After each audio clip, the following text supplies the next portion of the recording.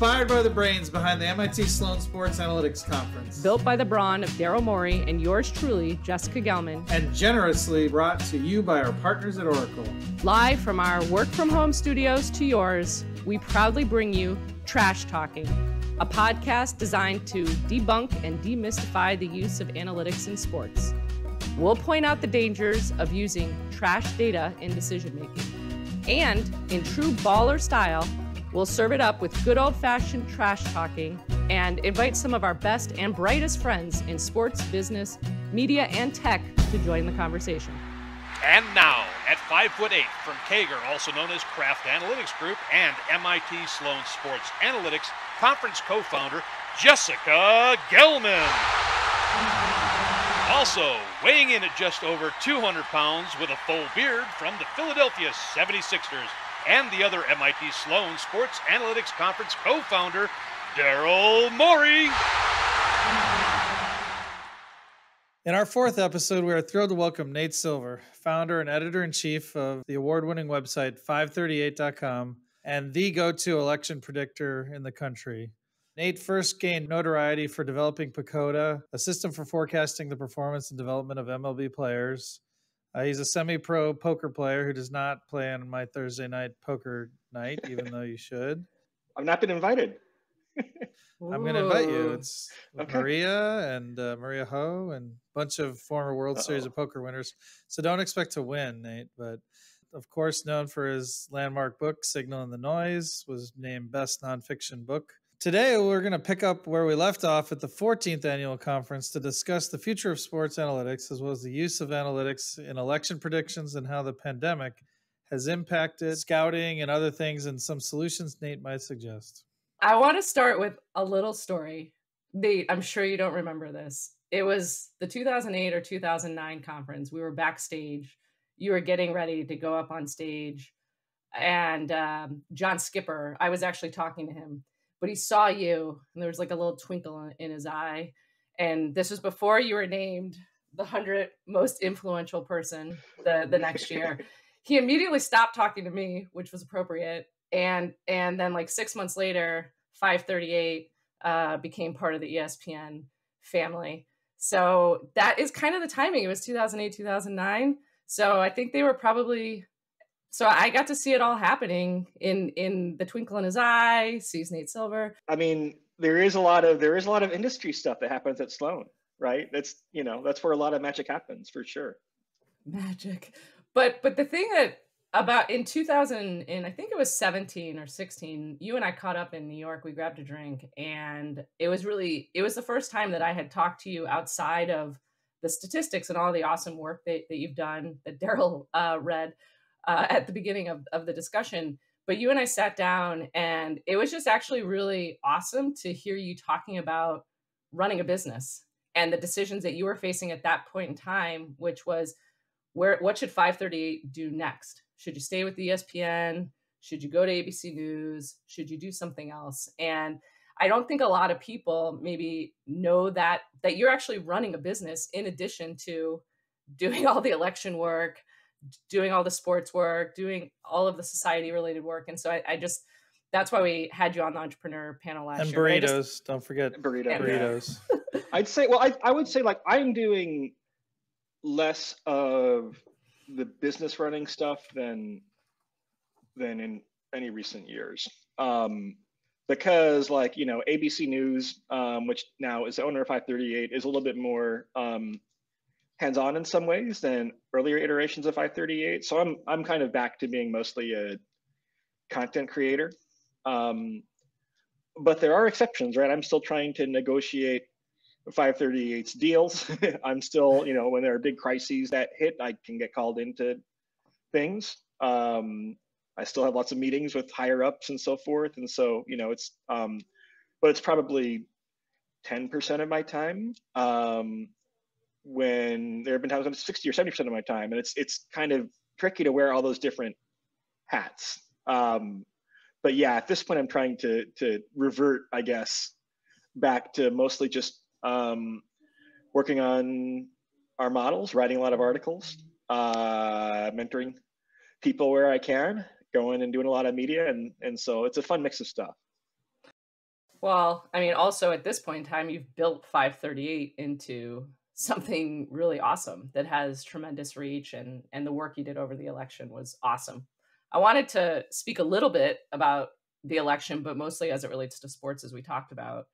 Obviously, there was a lot of debate around it. So the main question, and Daryl and I are going to take this from different perspectives. Mine's obviously going to be around the fan customer, but there are some folks in the media space of sports who are trying to connect the issues with polling to the whole concept of market research. So eh, there's a ton of research going on about will survey based research will customers fans come back to games after the pandemic and so i think maybe there's maybe some potential learnings of and you've done a, obviously talked about this a lot but as for you to think about some of the recommendations changes that you've suggested on polling and how potentially we should be thinking about that for the sports fan and and helping us understand how to better address them yeah so um let me give you a couple of different perspectives on polling, right?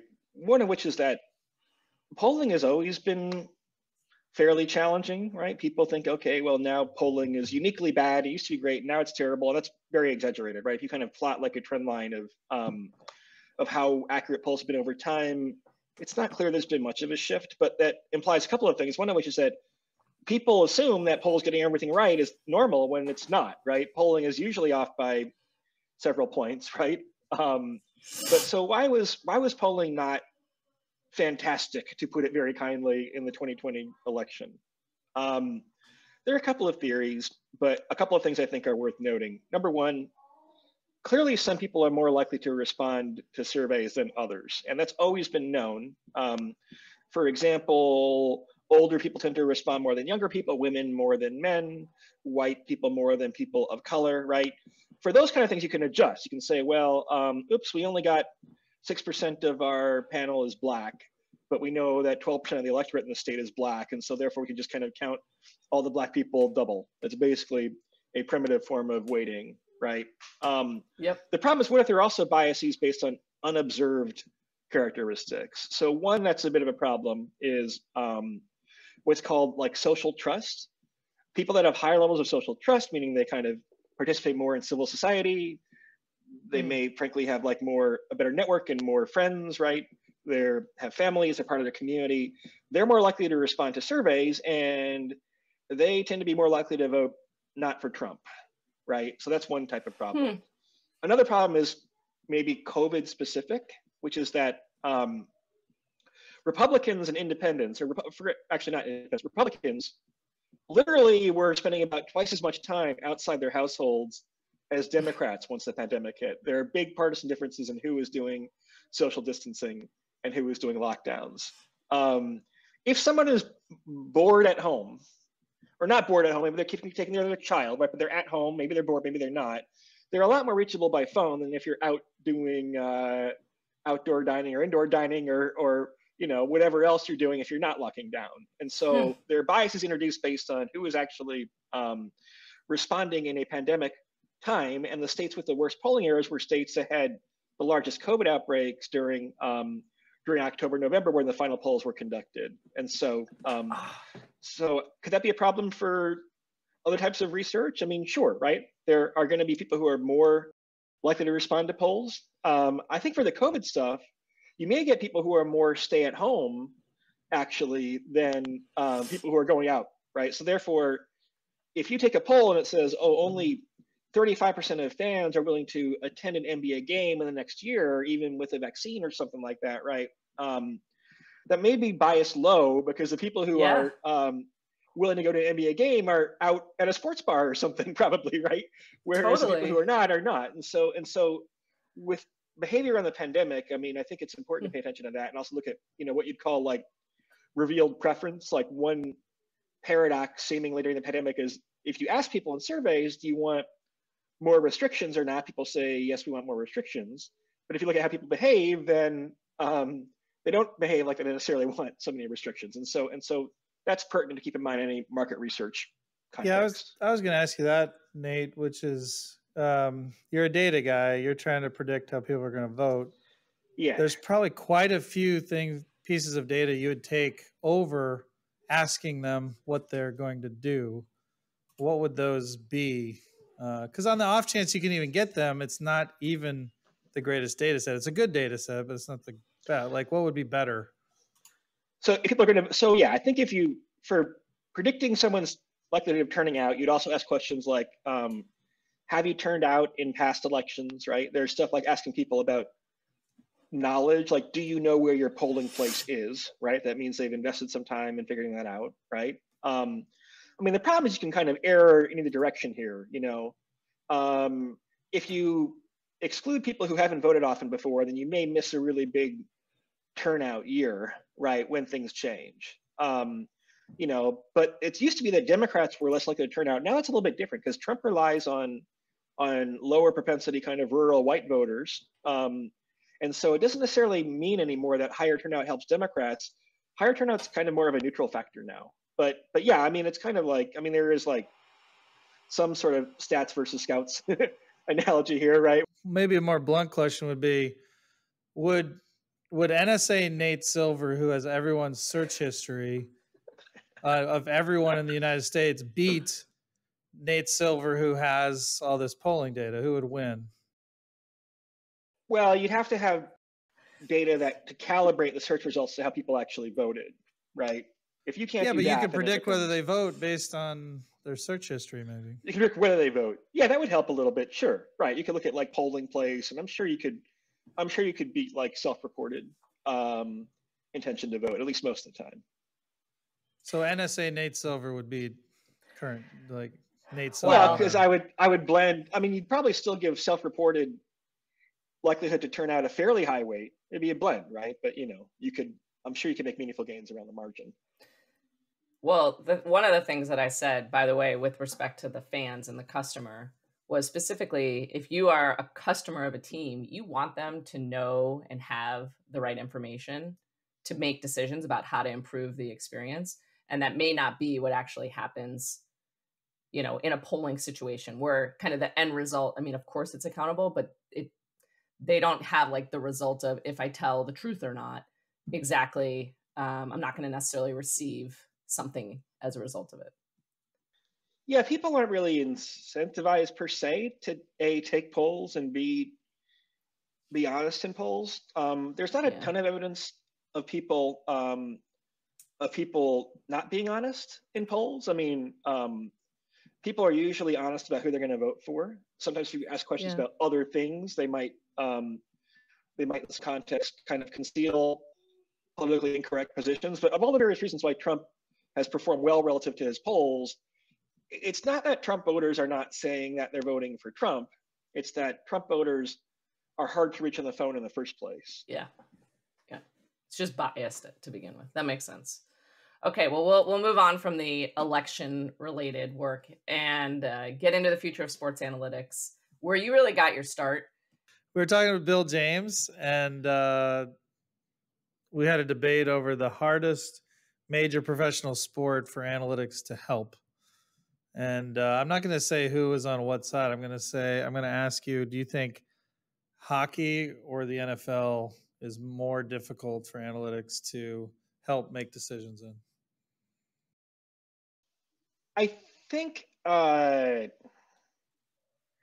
the NFL would be harder just because like um I mean it's a very very much a team sport and we don't have a lot of data on what you know half the positions in the league are doing basically.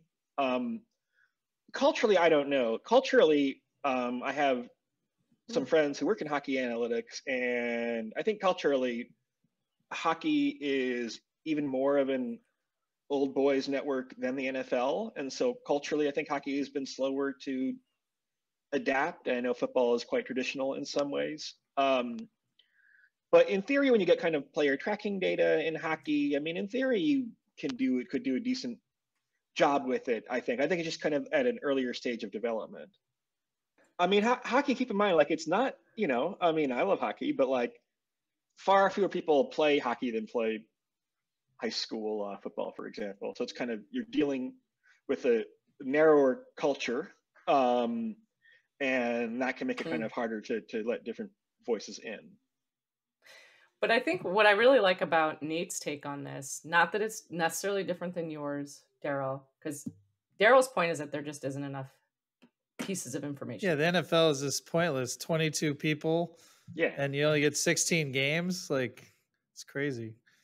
But what if it, it so the thing that's tricky there, Daryl, is that you said NFL versus football. So I think that's important. But Nate's big, biggest point was that there will be less acceptance of it.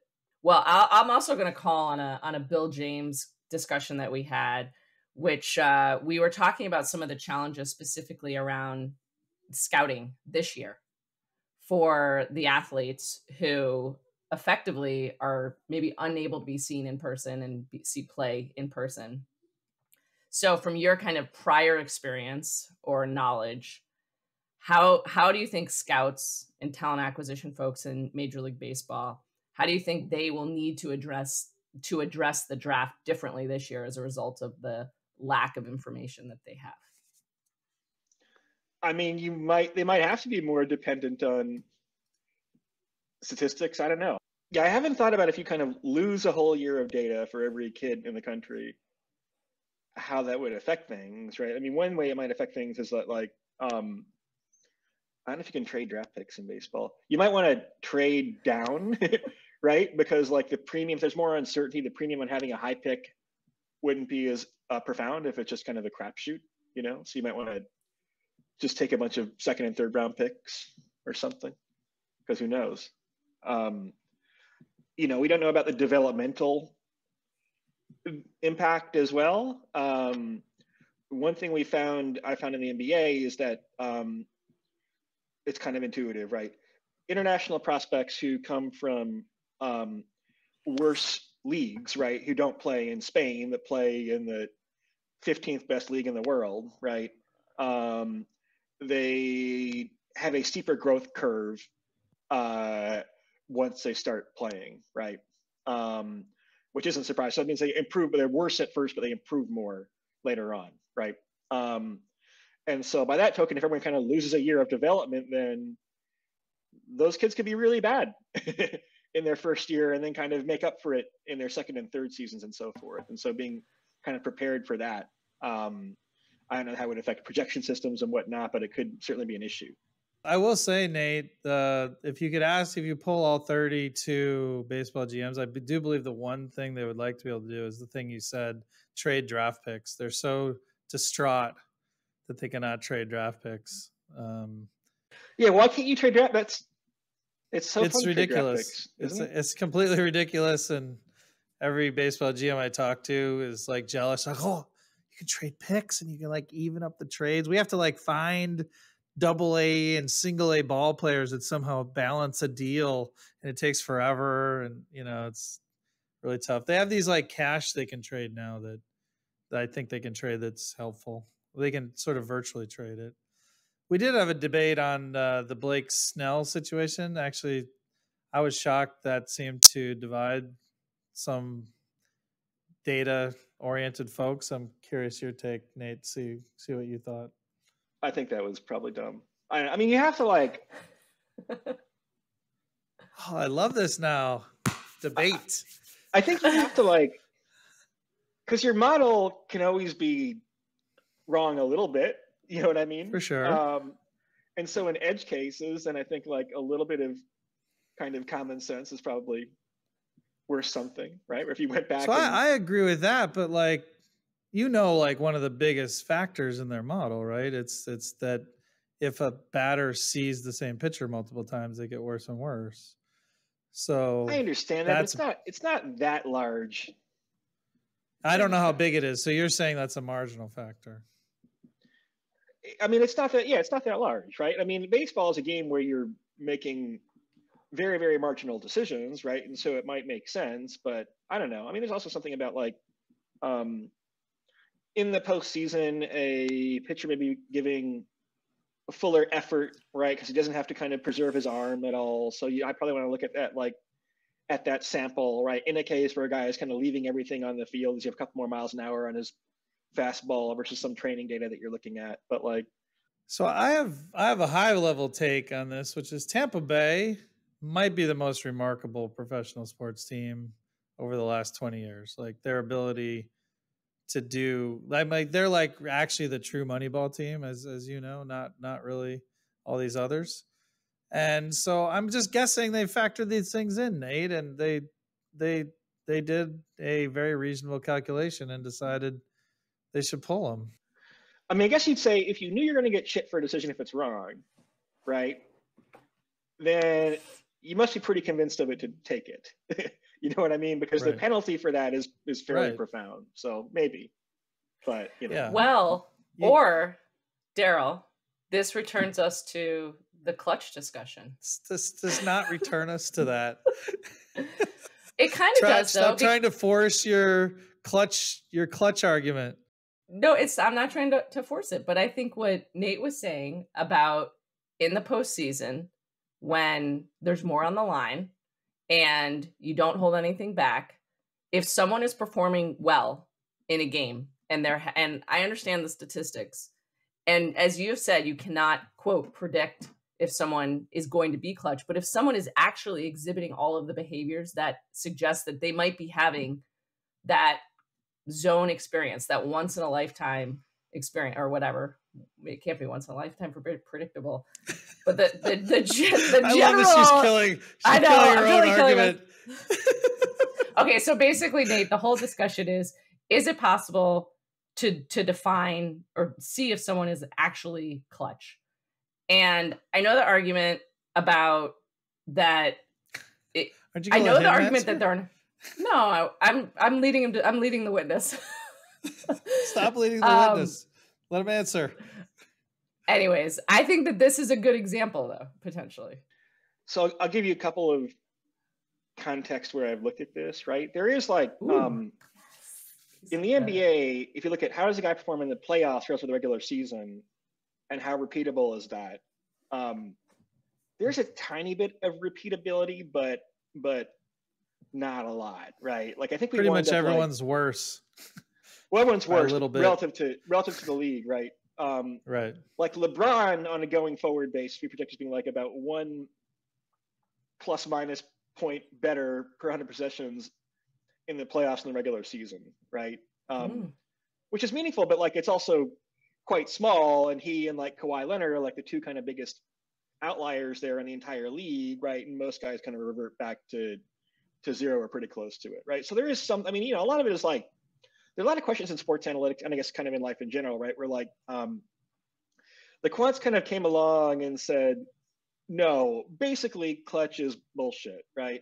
And if you want the more correct answer, it's that clutch is mostly bullshit, but there's probably a little bit there, right? So now we're kind of refining. You can say, okay, you were 80% right the first time, but you know, but there is a 20% here, although kind of what you mean by clutch is not so clear, right? Is it LeBron is performing better in the playoffs or that LeBron is pacing himself very rationally in the regular season because regular season doesn't really matter very much in the NBA, um, at least for certain types of teams, right? And so therefore you're conserving energy. You know, I mean, clearly, like there's all types of stuff in the NBA where there are really big, um, you know, as y'all know, score effects in the NBA. So when a team is ahead by 15 points, it just is much, much, much worse in subsequent possessions. Um, there are big score effects in the NHL, right? But that makes sense, right? Those are both very physically demanding sports. Um, and why would you kind of not conserve some energy when um, when you're at no risk or low risk of kind of losing the game?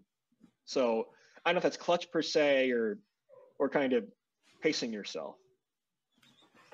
I I just like that you quantified the clutch period. It's different. And that was, I think, my big takeaway is you said playoffs. That's what you're defining the difference between playoffs versus the regular season, which is probably a better parameter. I agree. And I'm sad that it's not more significant. I, I mean, I think in, I think in general, people underestimate the importance of looking at the playoffs in all sports relative to the regular season, right? Like in the NFL, hmm. for example, um, if you take teams with different ratings, strength ratings or ELO ratings or whatnot, those differences magnify quite a bit during the playoffs, right? So a team with a, I don't know, a hundred point ELO difference might be a five point favorite in the playoffs versus a four point favorite in the regular season, which doesn't sound like a lot, but if we're talking about marginal factors, kind of actually adds up a little bit.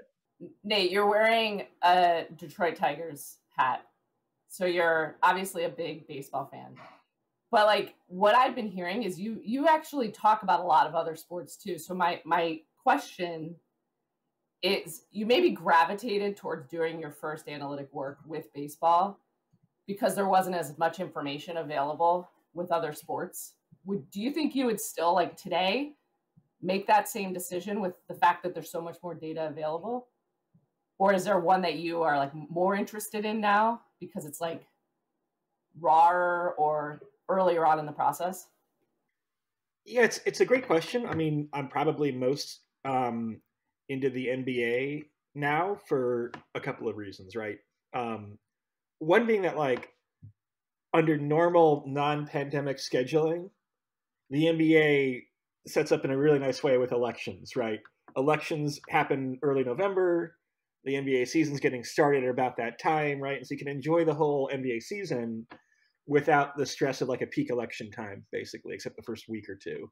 Whereas for baseball, every other year, I can't watch the World Series or whatever because like it's totally, you know, totally a crazy time for me. So that actually probably affected things. But like also like um yeah, the NBA is in this kind of fascinating era where we're getting a lot more data. Um it's very much I think 90% of the way to baseball. Um so yeah, and I kind of have to focus really on like, you know, one or one and a half sports because I have other stuff to cover too. And so um so it really has been basketball increasingly. Daryl, do you think that the NBA is 90% to to where baseball is? Because I mean, at least from no. our discussions, it seems like yeah. 10, 10 years behind. Still. What does that mean? Like 50%? I mean, like NBA's been tracking 10 years behind baseball for a while. I, I couldn't give you a percentage. I just know that um, our order of magnitude, like they're they're on like really tiny edges, and we're on um, and we're we're still on we're still on medium edges. So. If you're covering this kind of as a public figure and not working for a team, although probably also if you are working for a team, it's more fun when you're still on that medium steep part of the curve, right? Um, if you're way out where you're mining for any 0.01% edge instead of a 1% edge, then it gets kind of, I would imagine, fairly tedious, right? And also, like, to get into it, like, if I spent, I'm sure, half a year really familiarizing myself with um, every state of the art piece of baseball analysis, I'm sure I could add some insight, right? But like, but like, it's a, you're, you're pretty far along on that learning curve. It's a bit like, um, like poker now or something, right? Where it's like not solved, but like, but you know, you're getting to some pretty obscure territory in terms of studying things that might give you a very marginal advantage. Yeah, when they got down to worrying or whether or not a catcher had their mitt like like a three millimeters to the left yeah. or right as they were catching the ball, I knew that baseball is down to the really small things at that point.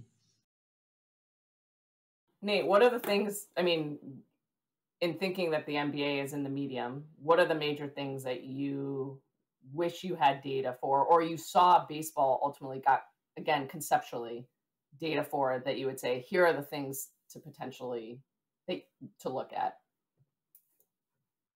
I mean, I, obviously, defense is this giant category still, right? Um, where with the player tracking data, there's some stuff you can do, but like you know, I don't think there's been good publicly available work done on, for example, defensive pressure, right? Um, there's talk of gravity, but how you implement that is maybe not necessarily so clear. So that's one big contribution, right, or uh, category. Um, but also like the relationship between um, between members of the team and the interactions, right, and kind of what part falls into the sum of the parts, where you take five guys on the floor and you kind of add their Raptor Wars together or whatever and have a projection versus like where is the kind of team uh, cohesion, where is the kind of intangible, where's the value of coaching and a system, right? One thing we found is like we had um, this new system called Raptor that we launched last year. And it very much worked as the sum of the parts model, right? Each player has his rating. You take the five guys, figure out how many minutes you're going to play, and that's your estimate of how strong the team is for that for that game, right? Um, alternatively, you can just say, okay, let's look at how the team has played. we don't care as much about who the players are. You have an ELO rating or whatever, right? Just look at how have the Lakers or the Rockets played over their past 10 games, going back their past 100 games or whatever, right? Um, it turns out that like you actually want something like a two to one blend of the sum of the parts rating versus the kind of team rating, right? I, am not describing this very well, um, but clearly, like when you have a certain group of players that are on the roster for for half a year or a year, and the team is playing well, then you should kind of like toss out your priors about oh these players aren't good individually, right? At some point, the team record speaks to the fact that that group of talent in that setting with that coaching and that scheme, right? That that's working. Um, it might not work if you scramble those five players around, those 15 players in the roster, whatever it is, um, and put them in other contexts. But like, but there certainly is like team play in the NBA, especially on the defensive side of the ball, that I think is is, you know, I don't know if it's a lack of data or a lack of clever enough kind of analytical frameworks to to to truly understand that.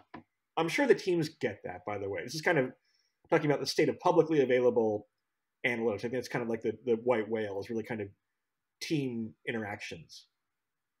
Following up on something you said earlier, Nate, um, about the importance of uh, how players may play in the playoffs uh, and incorporating that into your analysis. Um, was that informed by your past efforts at forecasting and you adding in Vegas sort of uh, preseason rankings into your forecasts? Yeah, I mean, all these things are inspired by. I mean, the NBA is tricky, right? Um, you'll do something and it'll work for a while, then it'll break in some edge case, right? And then you'll fix it, but you'll wind up overcompensating in the direction, right?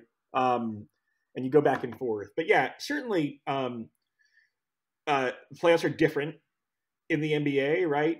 Um, pace is slower. The game is officiated differently. Um, you know, clearly like everybody could knew, for example, that certain LeBron James teams, for example, were going to be much stronger in the playoffs than the regular season, right? And the question is kind of how predictable might that be, really, right?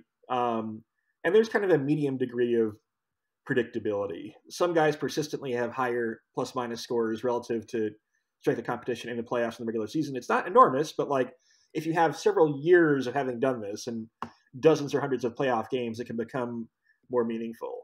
Um, we did not find any particular player characteristics that seem to predict this all that well. Um, I'm, I'm, sure you probably have, apart from just the fact that some guys, for whatever reason, just have a consistent record of performing better in the playoffs. Um, and there's some persistence there. We just incorporate the flow chart, which is the one if you're going to make the finals, it's just a one question, you know, well, I mean that's a problem, right? I mean, LeBron is such an important case, right, where he can be like a one player, but how you handle LeBron, do you have a special rule for LeBron when he's in the finals? What is it, you know, ten the last eleven seasons or whatever crazy number that is, right? Then like then like at some point, at some point you might just need like a LeBron variable, you know, and kind of when you're designing models, there's always this frustration of like, hey, I kind of know that this is going to be, or at least maybe I don't know, right?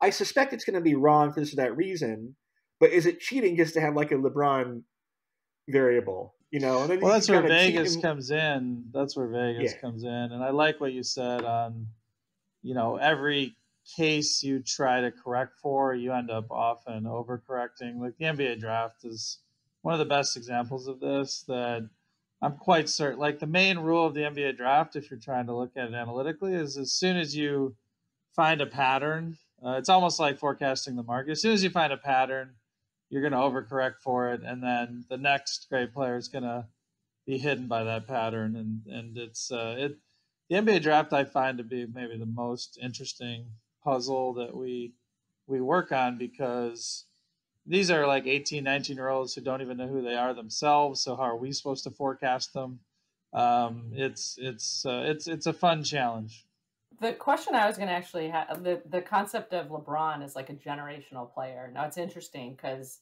meaning like that he's going to break the model or have his special, his own special um, component to it. So like if you just looked at the NBA, you couldn't do that kind of an analysis, the concept of a generational player. But Nate, because you look across all the sports with 538 or your team can. It is kind of interesting to think if that how often there's someone like a LeBron who just, you know, breaks the model. I don't know if you've ever thought about that. I mean, it depends on what sport you're looking at, right? Um, you know, in the NFL, um, it's hard to estimate player value, right? I think there's some notion that like an elite quarterback, a Peyton Manning or a Tom Brady, uh, Joe Montana, right? They might actually be about at the level of value that that LeBron is, right? Um, you know, if if uh, a great NBA player is worth 20 wins above replacement in an 80 game season, is Tom Brady worth four wins above replacement in a 16 game season, even when you're probably falsely giving him some credit that deserves the offensive line deserves, the coaching scheme, and the receivers deserve, right? I mean, that probably seems like it's it's not crazy or maybe even a little bit low, right? So a quarterback can reach that level of value. Um, in baseball, nobody can, right? You know, Barry Bonds had these years where he was putting up a WAR of 12 or whatever, 13 or 14 um, in a 162 game season. So, so much less value there. I mean, obviously, a pitcher um, in an individual game is extremely valuable, right? Uh, but not only pitch one out of every five games. And hockey, I have done at least work on, but like from talking to friends in hockey analytics, um, you know, Sidney Crosby is kind of that's more of the baseball type of mentality, right? Uh, the best hockey player in the world is not going to be as valuable just structurally. He's only on the ice a third of the time or thereabouts, right? There's a lot of randomness in hockey. Um, so basketball is unique, I think, among the four major sports, plus the quarterback position in the NFL of of having these truly kind of franchise players that, like, again, can be like a playoff berth all on their own, right? I don't think there's any other sport like that, right? You know, if you take like a 25 win team and add James Harden, you're probably going to get the the seven seed or something. Yeah, it's not close because we only have 10 players on the floor and we play offense and defense. Uh, the elite players just have a, a very much outsized impact. I think there's even an intrinsic sort of skew to the uh, to the probability distribution on great players in the NBA, but we'd have to examine that. But but what um, I was um, gonna say is like also over time though, the NBA has like changed their rules to be more in favor of that one player, right? So like teams, there's less opportunity maybe to do team defense. You, I mean, those changes happen obviously in the NFL. If you look at the protection that quarterbacks receive today, right? That's making them more valuable. So it's just interesting to see how the leagues are almost driving some of that in some ways. And like, could I mean, I don't, maybe hockey you can't change, but are there other sports? And I don't think you can in baseball, but I think just an interesting thing to maybe. Well, in baseball, I think in theory, if you had a Mike Trout level hitter combined, you know, with a, you know, top five pitcher, you could, in theory, get close to something resembling uh, the impact a, a, top NBA player makes. That has never happened, but I mean, you have Ohtani, right? Um, but no, in yeah. theory, that could Babe Ruth is a hitter plus pitcher. If he had kind of really done both at once and played 155 games or whatever, right? Then that would be that would be close. Come close, yeah. Well, so you brought up the the Raptor model that you guys created, and my question is: you guys have obviously a ton of awesome models on 538. Which one gets the most engagement? And obviously, it can be cyclical. I'm talking about sports models. I mean the, um, I think our NFL model gets the most page views, even though it's the least proprietary, right? the models we put the most work in on are Raptor, which is our NBA model, and our our soccer model. Um, and they do get a lot of traffic, but like this relatively simple NFL model, it used to just be an ELO rating. Now it has quarterback adjustments and you know travel distance and stuff like that, but it's relatively simple. People do love the the NFL still. They love to bet on the NFL. Um, and and yeah, I found myself um, getting less in the habit of watching the NFL. Again, it's part of the election thing where like, you know, your Sundays you're not necessarily able to be free and watch football. Um, but those are kind of the, the three that get the most traffic. I mean, there's a ton of interest in in soccer. We have like literally like you know 60 different men's leagues and two or three different women's leagues around the world that we now have updated ratings for. And so, I mean, soccer is obviously, I think, um, it's been considered the sport of the future for decades now. But I think even in the U.S. now, right? If you look at kind of when you ask people under the age of 30, what's your favorite sport? Soccer is starting to overtake baseball, for example, be very competitive with other sports too. Uh, I wanted to mention, by the way, just uh, thank you for the amazing women's sports coverage that you have on 538. There's, I mean, it's great and and it's analytical. And the other thing is that it's woven in to all of the sports that you do. You don't like separate out the women's uh, the women's coverage, and I think that it's it's very valuable what you do, especially for someone like me who likes to read about women's sports with the analytics slant too. So thank you for that. Well, thank you. We're also working on. Uh, oh, sorry, we're working on WNBA stuff too. So we're, but yeah, that there I mean, we go. Look, um, it actually gets a fair amount of traffic. Our women's sports coverage. Yeah. There's an audience for it, and people who don't try it won't discover that audience. So I'd recommend it to other publishers too, like not just for equality long term, but like there are a lot of people that care about women's sports. Well, it's actually interesting, uh, Nate. You um, you may not know this, but Sue Bird was our guest on the previous podcast, and uh, Daryl threw out some challenges uh, about her stats. And I mean, two pieces of information. First, big thank you to Kevin Pelton, who actually went and did the analysis of performance, what we might call clutch performance, in the last five minutes of games that are within five points, as well as in OT. And uh, it turns out that, in fact, um, Sue Bird is clutch she shoots 49% in those moments. Interestingly, Tamika Catchings shoots 58% in those moments. Now, she had a smaller sample size, but I think just pretty cool. Thanks to Kevin for doing that analysis. But one of the things that did come up, we talked a lot about with Sue, and Daryl uh, also is aware of this, but someone else had done an analysis, or one of the questions we talked about was the hockey assist, the assist to the assist and someone um, did the analysis and posted up on social of people who led in hockey in the hockey assist in the NBA. I asked them if they could do that for the WNBA, and the data doesn't exist on the WNBA side to be able to do that assist to the assist. Oh, it's there. It's it's it's. You could literally just take the data and crank it out in ten minutes. You do have a good uh, thing going on the women's side there, but there's there are a couple of women's areas that are coming up in that space um, as well. Like there's this one just women's sports and the gist, but how are the 76ers looking in your model, Nate? I need to know. I need to prep. I need to prep my owner.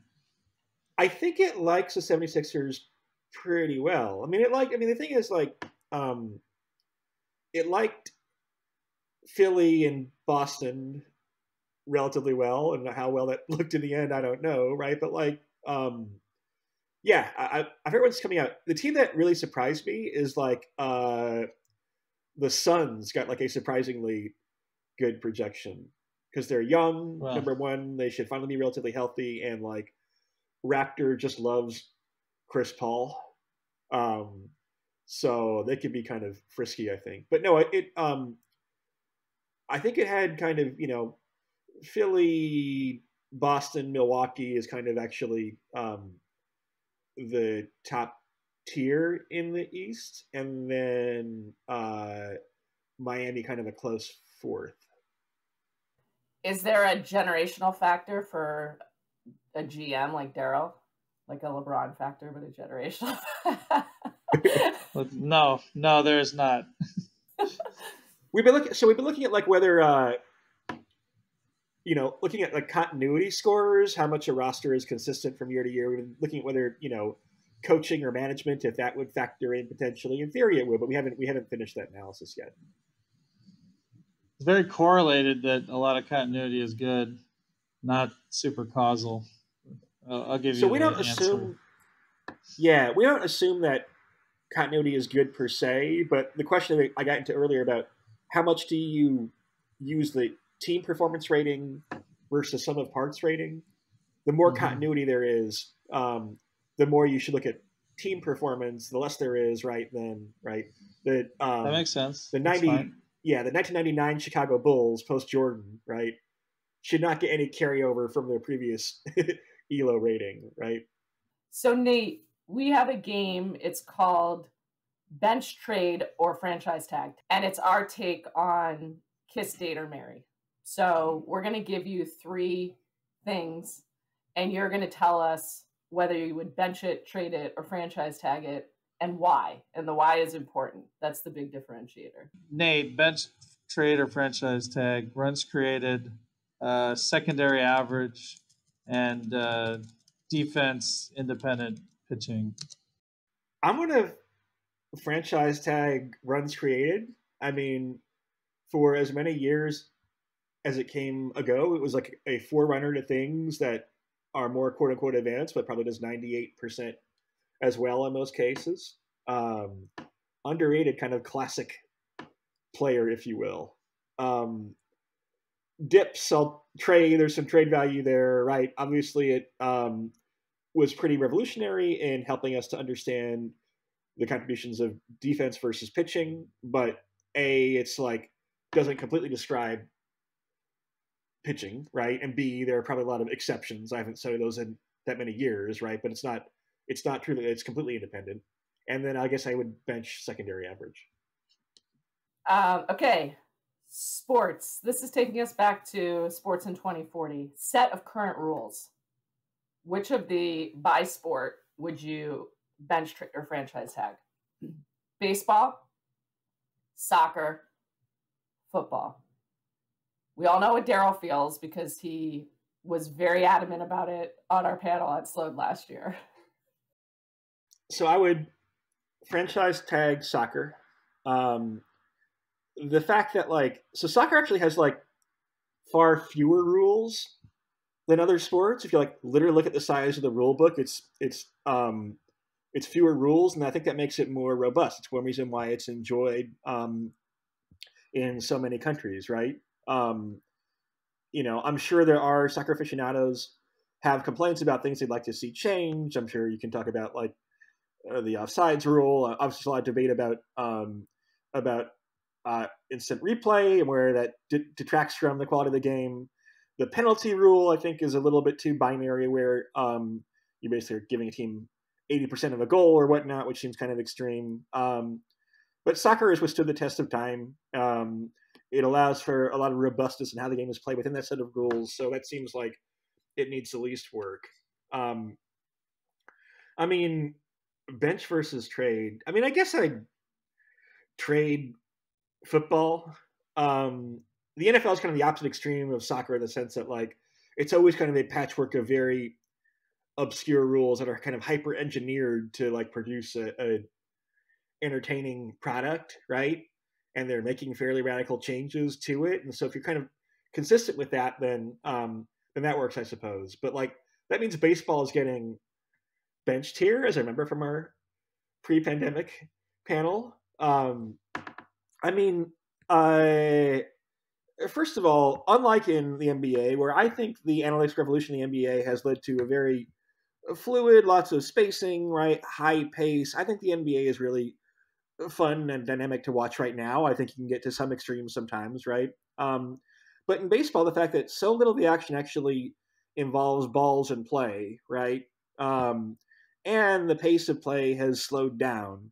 Um, and it seems like you no longer have this diversity of different, you know, skill sets that you used to have in the 80s or whatnot. I mean, I think baseball um, is in some degree of trouble. And I think the fact that, like, the tweaks they're making have been kind of all over the place. I mean, I don't know, right? I, I like, for example, I like having no designated hitter because that creates more strategy and more differentiation, you know. Um, but it feels like baseball is like kind of tinkering around the edges with this, like, you know, 20 men or man on second base and extra innings. I'm not sure I necessarily like that. No one is, I don't dislike when I'm at a baseball game and there's extra baseball to be played, right? Um, I don't know. It just seems like uh, they're addressing the problems that like don't need to be addressed and not addressing as directly the kind of problems that do need to be addressed, right? Which is how it's all home runs and strikeouts and walks, then that becomes much more tedious. And it's a huge difference, right? It's not like some minor difference. Like it's a totally different game than it was 30 years ago or something. Can I make a point on soccer that they've they've made their rules worse too? So indirectly, so on the penalties, which is just crazy, like how big of a penalty it is as you talked about. They made it worse this year. Um, used to be on a penalty shot, the only chance for a goalie would be to die, guess and dive, and then make a good play, right? This year they decided they're going to enforce one of the few rules in their skinny rule book that you just pointed out that probably needs more rules. Uh, that the goalie, the go- always on the books was the goalie can't move before the ball is struck, but in practice, you know, if you moved a microsecond before the ball is struck, they would let it go. Now with VAR, they're literally like the goalie has to be a statue prior to the ball being struck at 110 miles an hour into the corner. Good luck, human, trying to stop this thing. So they've they've literally made it worse this year. So I just wanted to continue my rant on soccer. So. Yeah, I mean, not every use of replay is I don't know is a positive necessarily, but um, yeah. Wait, you say that because you think that there should be how, why do you think there should be less instant replay? That I, am not necessarily. Well, it's not about it's not about replay per se, but it's about like there's a certain equilibrium in the sport, right? And the equilibrium probably designs to provide some notion of you know competitiveness plus entertainment plus fairness or whatever, right? Um, and if you more kind of rigorously enforce rules, then you may upset that equilibrium in in some respect, right? Like another one is in the um, in the NBA with um, who deflects the ball out of bounds, right? It's kind of ambiguous, almost like some weird physics problem sometimes, trying to figure out who is responsible for deflecting the ball out of bounds, who last kind of touches the ball, right? But clearly there is a notion that like if the defensive player aggressively kind of slaps toward the ball, right, and kind of knocks it out of the player's hand, and it kind of glances off their fingernail. Clearly, the old way that we referee with replay is that yeah, it's you know offense gets the ball back, right? Um, and now you might not get the ball back, which is kind of like not really the outcome that like if we all got together and said let's design the best of the NBA rules, right? We would say okay, if one player is responsible for like the substantial amount of force to deflect a ball out of play, and there isn't, you know, quote unquote, substantial contact that causes the ball to deflect in another direction. So I can like knock the ball off you, then it's your fault, right? But like if I the fingernail wouldn't count anyway. But the point is like we had a better standard kind of pre-replay for what people really wanted and what they thought was fair. And now that you're enforcing it by the letter of the law, then it's actually like worse in some cases. It would be a problem, for example, like you get fouled all the time when you're when you're shooting shots and it's not called. That's part of the game, right? That it i think your point about it being equally unfair is like a really good one. And that's part of i think should be part of the game in, in many ways. Yeah all the sports using replay us soccer um, nfl are going through a real tough period where you have like in theory if you sat down you'd say let's enforce our rules. And then when you go to video let's do that. But it turns out in practice there are a lot of like gray areas that referees were basically trying to achieve fairness, not not follow the letter of the law. And in many cases, that's what fans want. Fans want fairness. They don't necessarily want whether or not it went off to Nate's great point, a fingernail, or whether or not Peter Cech, you know, moved uh, two milliseconds before the ball was struck. They just want they just want a fairly a fair playing field and referees used to optimize for that, and now they're being asked to optimize to the rules. It's not always congruent to the larger objective. Yeah, sometimes there's like this notion that like the rules were handed to you from a tablet on high, right? Um, no, I mean people we we make the rules ourselves, right?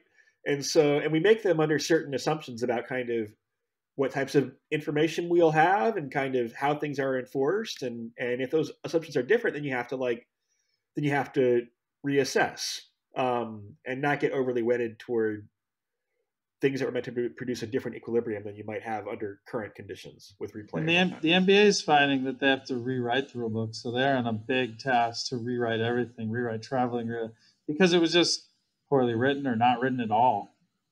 yeah, the notion that you have rules that are kind of selectively enforced. I mean, there used to be kind of this cliche that hey, every every NBA play actually is a foul, right? I don't know if it's true or not. Um, it's true, but yeah, but that that would seem like it creates a problem. Well, when we when we talked to Jonathan, he actually like specifically said like we I want to take the bias off of the refs, you know, hands. And it's kind of interesting that we're coming to a point where saying, well, some of that is, you know, it, it's again having this equal equilibrium of fairness is is a, is a really good point.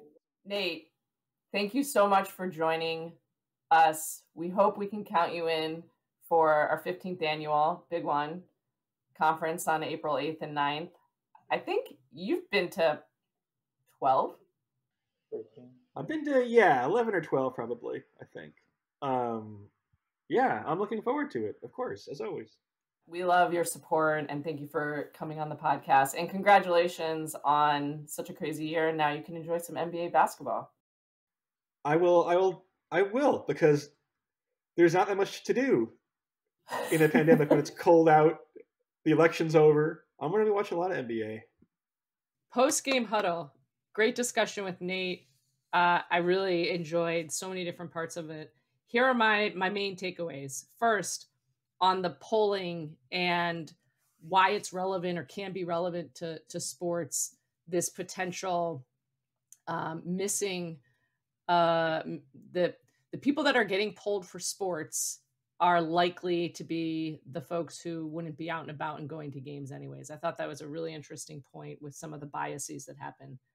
Second, I hadn't the clutch concept most specifically about defining what clutch is and what is the parameters of it. So is it the playoffs, which is what he said, or is it say the last 5 minutes of a game when the when it's within 5 points?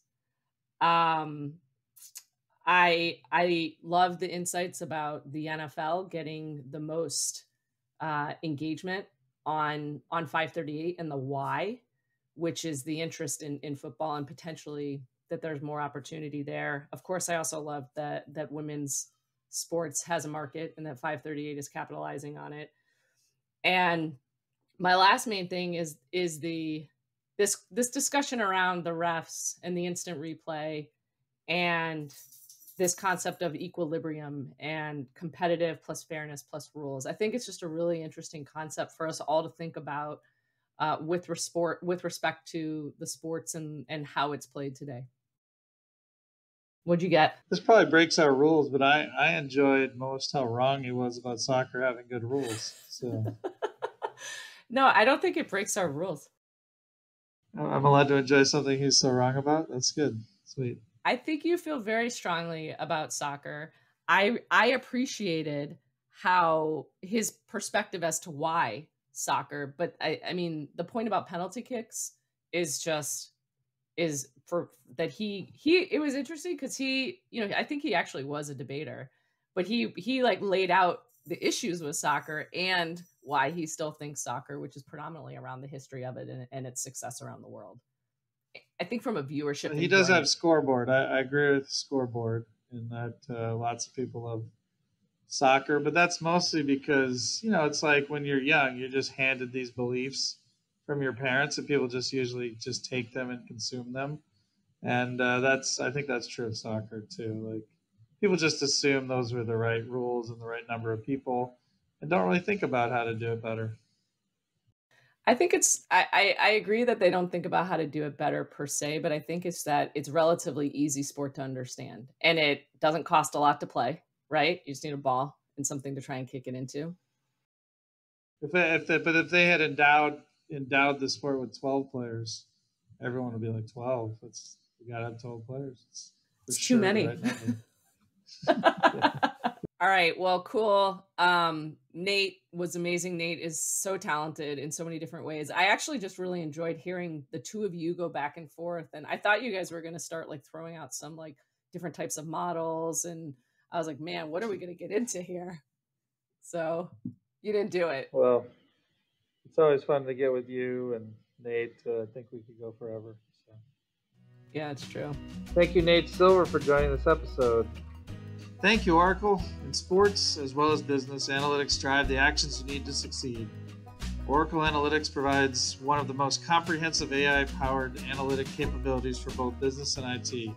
When you're ready for peak performance, it's Oracle Analytics for the win. Thank you to our listeners. Hope you had fun. Thank you to Lance, Jason, Maggie, and Andrew had to endure the torture of this podcast from start to finish. Thank you to the MIT Sloan students, especially Andrew Lynn and Maggie Riddle.